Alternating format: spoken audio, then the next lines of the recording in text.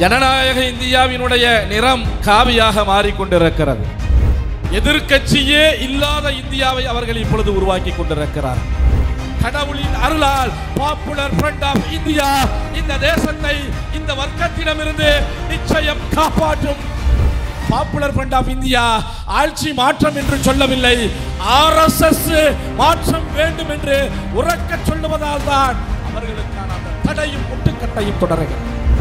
இறைவழியில் பல ரத்தங்களை சிந்திவிட்டு செயல்பாடுகளை தொடர்ந்து கொண்டிருக்கக்கூடிய பாப்புலர் ஃப்ரண்ட் ஆஃப் இந்தியா நீதிக்காக ரத்தத்தை ஒரு ரத்தம் அல்ல பல ரத்தங்களை விளையாக கொடுப்பதற்கு தயாராக செயல்பட்டுக் கொண்டிருப்பார் மக்கள் ஆட்சியை பாதுகாக்க வேண்டும் என்றால் நிச்சயம் இந்தியாவிலே பாப்புலர் ஃப்ரண்ட் ஆஃப் இந்தியா பாதுகாக்கப்பட வேண்டும். அனைவரின் மீதும் இறைவனின் சாந்தியும் சமாதானமும் உண்டாகட்டும் என்று நான் பிரார்த்தித்து பாப்புலர் ஃப்ரண்ட் ஆஃப் இந்தியாவினுடைய இந்த மாநாட்டு நோக்கம் வெற்றி பெற வேண்டும் என்று ஆரம்பமாக நான் பிரார்த்தித்து வாழ்த்துக்களை சொல்லி என் உரையை துவங்குகின்றேன். அன்பார்ந்த பெரியோர்களே சகோதரர்களே பாரதிய ஜனதா கட்சியினுடைய ஒன்றிய பிரதமர் மோடி தலைமையிலான இந்த அரசு எட்டாண்டு காலம் ஆட்சியிலே இருந்து கொண்டிருக்கக்கூடிய இந்த சூழலில் இந்தியா மோசமான ஒரு திசையை நோக்கி பயணித்துக் கொண்டிருக்கிறது என்பதிலே எந்த மாற்று கருத்தும் யாரும் சொல்ல முடியாது. உலக அளவிலே வெளிவரக்கூடிய அத்தனை பத்திரிகை செய்திகளும் அதை உண்மைப்படுத்துகிறது.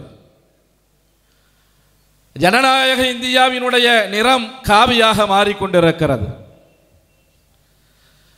மதச்சார்பின்மையை போதிக்கக்கூடிய இந்தியாவினுடைய ஆட்சியாளர்கள் மதவாத பிரிவினையை உண்டு பண்ணுகிறார்கள் என்று அனைத்து பத்திரிகைகளும் தங்களுடைய தலையங்கங்களிலே முக்கியமாக பிஜேபியினுடைய மதவாத சிந்தனையை தோலுறுத்து காட்டுகிறார்கள். இந்திய குடிமக்கள் வெவ்வேறு திசைகளிலே வழிநடத்தப்படுகிறார்கள். மோடி தலைமையிலான பிஜேபி அரசு ஆட்சியிலே அமரும் போது அவர்கள் சொன்னார்கள் இந்த தேசத்திலே இந்தியாவிலே காங்கிரஸ் இல்லாத இந்தியாவை நாங்கள் உருவாக்குவோம் என்று சொன்னார்கள். ஆனால் காங்கிரஸ் அல்ல எதிர்க்கட்சியே இல்லாத இந்தியாவை அவர்கள் இப்பொழுது உருவாக்கி கொண்டிருக்கிறார்கள். இந்தியாவினுடைய ஜனநாயக மாண்புகள் விவாதிக்கப்படக்கூடிய நாடாளுமன்ற அவைகள் எல்லாம் இன்று விரோத அவைகளாக விவாதம் இல்லாத அவைகளாக மாறிக்கொண்டிருக்கிறது. இந்தியாவினுடைய அடிப்படை என்று சொல்லக்கூடிய மதச்சார்பின்மை அது கேள்விக்குறியாக்கப்பட்டு மதத்தின் அடிப்படையில் இந்தியாவிலே குடிமக்கள் வழிநடத்தப்படக்கூடிய மோசமான நிலையை நோக்கி பாஜக இந்திய குடிமக்களை தள்ளிக் கொண்டிருக்கிறது. இவர்களுடைய ஆட்சி காலத்தினுடைய மனித விரோத மக்கள் விரோத நடவடிக்கைகளை சுட்டிக்காட்டுவது என்றால் பொதுச் செயலாளர் அவர்கள் சொன்னது போல நேரம் போதாது நாட்கள் போதாது. இந்தியாவினுடைய மிகச்சிறந்த வரலாற்று ஆய்வாளர் வரலாற்று அறிஞர் ராமச்சந்திர குகா அவர்கள் சொல்லுகிறார் மிகச்சிறந்த வரலாற்று ஆய்வாளர். இந்திய பிரதமர் என்ற பதவியில் இருந்து ஒரு நாள் மோடி அவர்கள் விடுவிக்கப்படுவார். யதார்த்தம். ஏனென்றால் மோடியை விட அப்பன்மார்கள் எல்லாம் இன்று காவி நிறத்திலே உத்தரப்பிரதேசத்திலே யோகிகளாக பிணம் திண்ணிகளாக இன்று உருவாக்கப்பட்டு கொண்டிருக்கிறார்கள். அதனால் ஒரு நாள் பிரதமர் பதவியில் இருந்து மோடி அவர்கள் விடுவிக்கப்படுவார். ஆனால் இந்தியாவினுடைய பொருளாதாரம் மோடியால் சீரழிக்கப்பட்ட மோடியால் சீரழிக்கப்பட்ட இந்திய பொருளாதாரம் இந்திய நிறுவனங்கள் சமூக மக்களினுடைய வாழ்க்கை இந்த தார்மீக கட்டமைப்பு எப்போது அது மேம்படுத்தப்படும் என்று கடவுளுக்குத்தான் தெரியும் என்று அந்த வரலாற்று ஆய்வாளர் சொல்லுகிறார். இதை விட என்ன சொல்ல வேணும்? அவர் பிரதமராக இல்லாமல் போனாலும் இவர்களால் சீரழிக்கப்பட்ட இந்த கட்டமைப்பை கடவுள்தான் காப்பாற்ற வேண்டும் என்று சொல்லக்கூடிய அளவுக்கு இவர்களினுடைய ஆட்சி இருக்கிறது. அந்த வரலாற்று ஆய்வாளர் ஒருவேளை இந்த பிரச்சாரத்தை இந்த கருத்தாக்கத்தை பார்த்தால் நான் அவர்களுக்கு சொல்லிக் கொள்வது கடவுள் காப்பாற்றுவார் என்று நீங்கள் விரக்தி நிலைக்கு போக வேண்டாம். கடவுளின் அருளால் பாப்புலர் ஃப்ரண்ட் ஆஃப் இந்தியா இந்த தேசத்தை இந்த வர்க்கத்திடமிருந்து நிச்சயம் காப்பாற்றும். மிஸ்டர் குகா அவர்களே என்று நான் அவர்களுக்கு சொல்லிக்கொள்ள ஆசைப்படுகிறேன். பூனைக்கு யாரும் மணி கட்டுறது? இப்ப மோடியை பற்றியும் பிஜேபியை பற்றியும் பேசுவது என்றால் உங்களுக்கும் இன்னைக்கு நடக்கக்கூடிய நிகழ்வு வர தெரியும். அக்னி பாத்து நான் ஆரம்பிச்சேன்னு கேட்டா அந்த அக்னி பாத்துல ஆயிரம் விமர்சனங்களை உங்களால் சொல்ல முடியும். அந்த அக்னி பாத்துல யார் என்ன கருத்தை சொல்லுகிறார்கள் என்று உங்களால் சொல்ல முடியும். அந்த அளவுக்கு இந்த நாட்டினுடைய வளர்ச்சியை பற்றி பேசுவதை விட்டும். இந்த நாட்டு மக்களினுடைய முன்னேற்றத்தை பற்றி பேசுவதை விட்டும். இந்த நாட்டு மக்களினுடைய பாதுகாப்பை உரிமையை பேசுவதை விட்டும் நம்மை இந்த பிஜேபி அரசாங்கம் வேறு திசையிலே வழிநடத்தி கொண்டிருக்கிறது என்பதுதான் யதார்த்தமான உண்மை. எல்லாரும் பேசுறாங்க.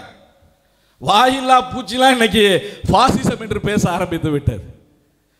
முப்பது வருடங்களுக்கு முன்னால் இருபத்தைந்து வருடங்களுக்கு முன்னால் இதே பாப்புலர் ஃப்ரண்ட் ஆஃப் இந்தியா பாசிசம் பாசிசம் என்று சொல்லும் பொழுது அது என்னப்பா புது வார்த்தையா இருக்குண்டு கேட்ட அத்தனை பேரும் வாயில்லா பூச்சி இன்னைக்கு பாசிசம் ஆர்எஸ்எஸ் என்று பேச தொடங்குகிறது என்றால் அதற்கான பெருமையினுடைய அடித்தளத்தினுடைய ஒரு பகுதி பாப்புலர் ஃப்ரண்ட் ஆஃப் இந்தியாவை சாரும் என்பதை நான் இந்த நேரத்தில் சொல்லிக்கொள்ள கடமைப்பட்டிருக்கிறேன். இதுதான் இந்தியாவுடைய நிலைமை. அப்ப இந்த நிலைமையில இவர்கள் எப்படி மக்களை பாதுகாப்பார்கள்? ஏற்கனவே பேசினாங்க. இந்தியாவினுடைய மிக முக்கியமான நான்கு தூண்கள் என்று சொல்லக்கூடிய அத்தனை தூண்களும் செல்லரித்து போய்விட்டது. அது லெஜிஸ்லேட்டிவ் எக்ஸிகியூட்டிவ் ஜுடிஷியரி மீடியா என்று அத்தனை தூண்களும் செல்லரித்து விட்டது. போதாக்குறைக்கு கண்ட கண்ட நடிகை அரகுர ட்ரெஸ் போடக்கூடிய கலையுலக திரையுலகம் எல்லாம் இந்த மோடி அரசாங்கத்தை பாராட்டுவதற்கும் இந்திய மக்களுக்கு அறிவுரை சொல்லுவதற்கும் வந்து விட்டார்கள் என்றால் இந்த நாடு போகக்கூடிய நிலையிலிருந்து இந்த மக்களை பாதுகாக்க வேண்டும். அது மட்டுமே நம்முடைய தலையாய கடமை என்று இன்று இந்த முழக்கத்தை முன்வைத்து இது போன்ற இந்த கருத்தாக்கங்கள் பரப்புரை செய்யப்பட்டு கொண்டிருக்கிறது. இந்த பிஜேபி அரசுடைய உச்சபட்சமா நான் உங்கள்கிட்ட சொல்றேன். ஜனநாயக தூண் போயிருச்சு. அரசமைப்பு சட்டம் போயிருச்சு. எதிர்க்கட்சிகள் எல்லாம் இன்னைக்கு வாய்மூடி மௌனமாயிட்டாங்க. எதிர்க்கட்சியே இல்லை. இதனுடைய உச்சபட்சமாக முஸ்லிம்கள் தலித்துகள் பழங்குடியின மக்கள் ஆதிவாசிகள் கிறிஸ்தவர்கள் நேரடியாக அடையாளம் இடப்பட்டு அடையாளம் காண்பிக்கப்பட்டு அவர்கள் இன்று இனப்படுகொலைக்கு தயாராகி கொண்டிருக்கிறார்கள். இதான் உச்சபட்சம். நேரடியாக வந்துவிட்டது பாஜக அரசு. முஸ்லீம் என்றால் அந்த அடையாளத்தோடு அவன் இந்தியாவில் இருக்கக்கூடாது. கிறித்தவன் என்ற அடையாளத்தோடு இருக்கக்கூடாது. தலித்துகளாக அவர்கள் ஒதுங்கி வாழக்கூடாது.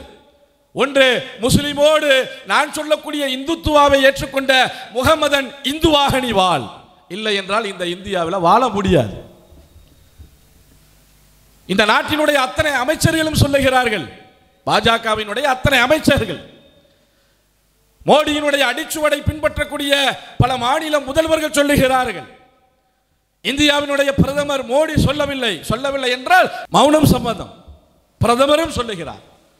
இந்த நிலையில் இஸ்லாமியர்கள் என்ன செய்ய வேண்டும்? கிறித்தவர்கள் என்ன செய்ய வேண்டும்? ஒடுக்கப்பட்டவர்கள் என்ன செய்ய வேண்டும்? தலித்துகள் என்ன செய்ய வேண்டும்?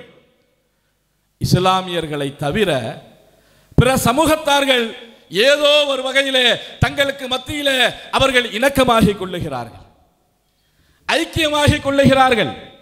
அரசியல் அதிகாரத்திலே அவர்கள் வெற்றியை நோக்கி போய் கொண்டிருக்கிறார்கள். ஆனால் இஸ்லாமியர்கள் மட்டும்தான் முஸ்லிம்கள் மட்டும்தான் எத்தனை இஸ்லாமிய போதனைகளை கேட்டதற்கு பிறகும் எத்தனை இஸ்லாமிய வரலாறுகளை போதித்ததற்கு பிறகும் நிகழ்காலத்தினுடைய யதார்த்தத்தை எடுத்து சொன்னதற்கு பிறகும் இஸ்லாமியர்களுக்கு திராவிடத்தில் மேலே இருக்கக்கூடிய பற்று குறைந்த பாடு இல்லை. ஒன்றுபடுத்த முடியலை. அவர்களை இந்த தளத்துக்கு கொண்டு வர முடியலை. பொதுச் செயலாளர் சொன்னார்களே இஸ்லாமிய போதனைகளை முடிந்தவரை சொல்லி ஆகிவிட்டது. தமிழ்நாட்டில் இதை விட என்னங்க சொல்ல வேணும்? எத்தனை அமைப்புகள் எத்தனை இயக்கங்கள் இஸ்லாத்தினுடைய அடிப்படையை இஸ்லாத்தினுடைய போதனையை முஸ்லிம்களுடைய நடைமுறையை முஸ்லிம்களினுடைய வாழ்வியலை முஸ்லிம்களுடைய ஒழுக்கத்தை பற்றி இதற்கு மேலுமா தமிழகத்தில் பேசணும். நீங்கள் வடக்க விட்டுருங்க. தமிழகத்தில் இதற்கு மேலும் பேச வேண்டிய அவசியம் இருக்கிறதா? இல்லையே. இன்று பேச வேண்டிய தேவை என்ன? நமது உரிமையை பாதுகாப்பதற்கான அடுத்த கட்ட போராட்டத்தை எப்படி முன்னெடுப்பது?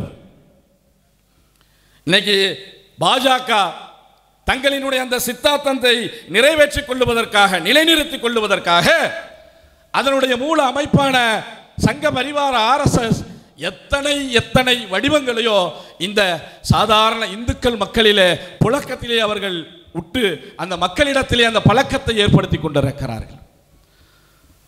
ஆரம்பத்தில் பாரத் மாதாக்கு ஜெயன்னு மட்டும் சொன்னான். அதுக்கு பிறகு ஸ்ரீராம் என்று சொன்னான். ஜெய் ஸ்ரீராம்ங்கிறான். இன்னைக்கு ராம நவமி அனுமன் நவமி விநாயகர் நவமி கிருஷ்ண நவமி இன்னும் எத்தனை பெயர்களில ஆன்மீக ரீதியாக இந்த முஸ்லிம்களுக்கு எதிரான தலித்துகளுக்கு எதிரான ஒடுக்குமுறையை ஏற்படுத்த முடியுமோ அத்தனை பெயர்களிலும் அத்தனை ஆன்மீகத்தையும் இன்று அவன் இந்த தன்னுடைய சித்தாந்தத்திலே சொல்லி முஸ்லிம்களுக்கு எதிராக தலித்துகளுக்கு எதிராக ஒடுக்கப்பட்ட மக்களுக்கு எதிராக கிறித்தவர்களுக்கு எதிராக சாதாரண இந்து மக்களையும் திசை திருப்பக்கூடிய மோசமான சூழலிலே இந்தியா சென்று கொண்டிருக்கிறது.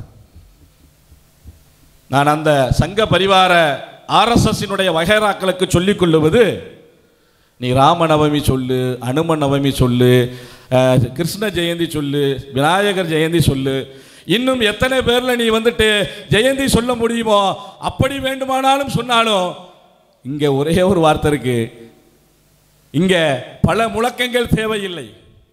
இங்கே பல கோஷங்கள் தேவையில்லை.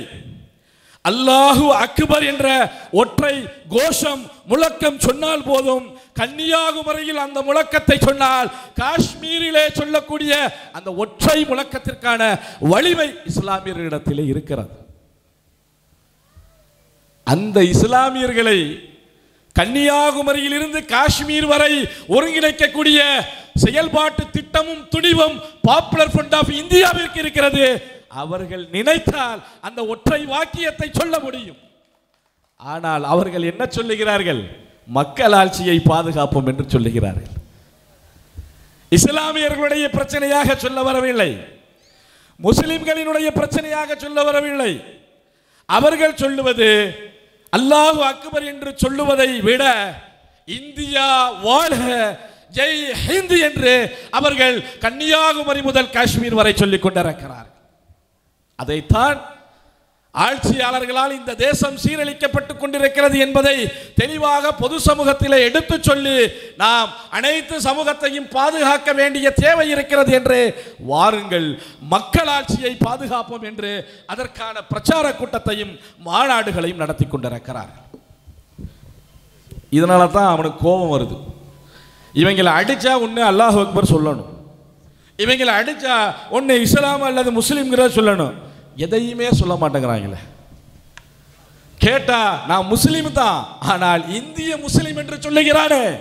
முஸ்லீம் என்று சொல்லுவதை அந்த இந்தியம் இந்திய நாடு என்பதை அழுத்தம் திருத்தமாக சொல்லுகிறார்களே. அந்த கோபத்தினுடைய விளைவுதான் எப்படியாவது அனைத்து சமூகத்தையும் எந்த அடக்குமுறைக்கும் அஞ்சாமல் அணிதிரட்டுகிற பாப்புலர் ஃப்ரண்ட் ஆஃப் இந்தியாவை எப்படியாவது அவர்கள் தடுத்து நிறுத்திவிட வேண்டும் என்று அனைத்து வகையான முயற்சிகளையும் மேற்கொண்டிருக்கிறார்கள் சமீப காலங்கள். இன்னும் அவர்களுக்கு கோபத்தை ஏற்படுத்தக்கூடிய செய்தி என்ன அப்படின்னா இந்தியாவில் இருக்கக்கூடிய அத்தனை மதசார்பற்ற அரசியல் கட்சிகள் சமூக தளத்திலே போராடி கொண்டிருக்கக்கூடிய ஜனநாயக அமைப்புகள் ஜனநாயக இயக்கங்கள் அனைவரும் முன்வைக்கக்கூடிய முழக்கம் ஒற்றை முழக்கம் முதன்மையான வாக்கியம் என்னவென்றால் ஒரு ஆட்சி மாற்றம் வந்தால் இதுவெல்லாம் சரியாகி போய்விடும். பிஜேபிக்கு மாற்று வந்தால் போதும். பிஜேபி தோல்வி கண்டுவிட்டால் இந்த அத்தனை பிரச்சனைகளுக்கும் தீர்வு ஏற்பட்டுவிடும் என்று ஒரு ஆட்சி மாற்றம் வந்தால் போதும் என்று சொல்லுகிறார்கள். ஆனால் பாப்புலர் ஃப்ரண்ட் ஆஃப் இந்தியா ஆட்சி மாற்றம் என்று சொல்லவில்லை. ஆர்எஸ்எஸ் மாற்றம் வேண்டும் என்று உறக்க சொல்லுவதால் தான் அவர்களுக்கான அந்த தடையும் முட்டுக்கட்டையும் தொடர்கிறது. ஆர்எஸ்எஸ் பற்றி பேசுறேன்னு கேட்டால் அதுக்கு ஒரு கட்ஸ் இருக்கணும்ல அக்னிபாத்தை பத்தி இன்னைக்கு பேச முடியல. பிஜேபியினுடைய அரசு மக்கள் விரோத திட்டங்களை பத்தி இன்னைக்கு தெளிவாக நேரடியாக மக்களிடத்தில் பேச முடியல. ஏனென்றால் மறைமுகமாக அவர்கள் ஆர்எஸ்எஸ்ஸால் மிரட்டப்படுகிறார்கள். ஆனால் எதற்கு எடுத்தாலும் பாஜகவை விட்டுட்டு மோடியை விட்டுட்டு அமித்ஷாவை விட்டுட்டு ராஜ்நாத் சிங்கை விட்டுட்டு சங்க பரிவாரங்களினுடைய மூல விதை என்று சொல்லக்கூடிய ஆர்எஸ்எஸ்ஐ நேரடியாக பாப்புலர் ஃப்ரண்ட் ஆஃப் இந்தியா சுட்டிக்காட்டுகிறது என்ற கோபத்தினுடைய விரக்தி தான் அவர்களை எப்படியாவது முடக்கி செயல்பாடுகளை தடுத்து விட வேண்டும் என்று நினைக்கிறார்கள். அது இறைவன் நாடினால் ஒழிய நிச்சயமாக கடுகளவும் பாப்புலர் ஃப்ரண்ட் ஆஃப் இந்தியாவினுடைய செயல்பாடுகளை ஆர்எஸ்எஸ் சங்க பரிவாரங்களால் தடுத்து நிறுத்த முடியாது என்பதை நான் அறுதியிட்டு உறுதியாக சொல்லுகிறேன். இறைவன் நாடினால் மட்டும்தான் அது நடக்கும். சமகாலத்தில் வாழ்ந்த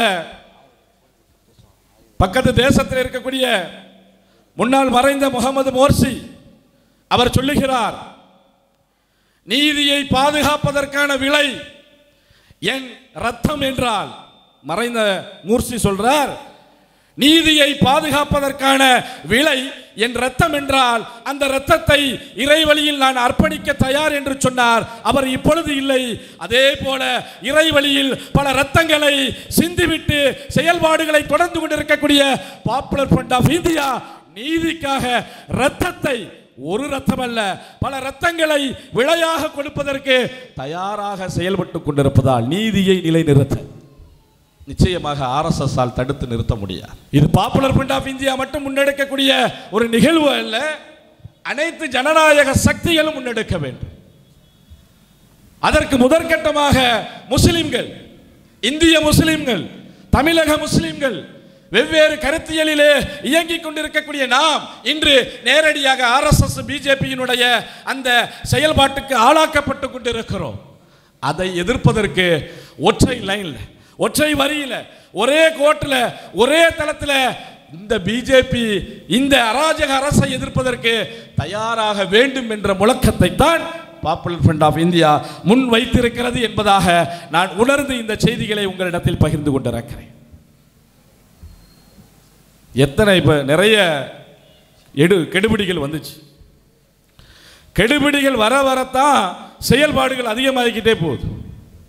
கெடுபிடிகள் வந்தால் ஒன்று ஓஞ்சி உட்காந்துருவாங்க இல்லை யோசிப்பாங்க. இல்லை என்ன செய்யலாம் அப்படின்ட்டு சில காலதாமதங்களை எடுப்பாங்க.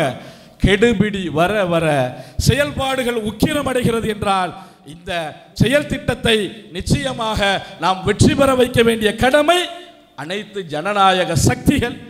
இஸ்லாமிய அமைப்புகளுக்கு இருக்கிறது என்பதை நான் இந்த நேரத்தில் சொல்லி தமிழகம் அமைதியாகத்தான் இருக்கிறது.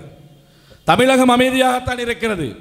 ஆனால் அந்த அமைதி போதுமானது அல்ல மாற்று மத சகோதரர்களிடத்திலே முஸ்லீம் அல்லாதவர்களிடத்திலே நாம் உரையாடும் பொழுது நான் அண்ணன் தம்பி நீயும் நானும் மாமன் மச்சான் என்றெல்லாம் நாம் பேசிக்கொண்டுதான் இருக்கிறோம். ஆனால் அது மட்டும் போதாது.